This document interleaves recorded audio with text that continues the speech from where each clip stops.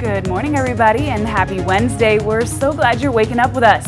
You are waking up, though, to sweltering heat. A heat advisory in effect later this afternoon when you'll feel temperatures in your neck of the woods near 109.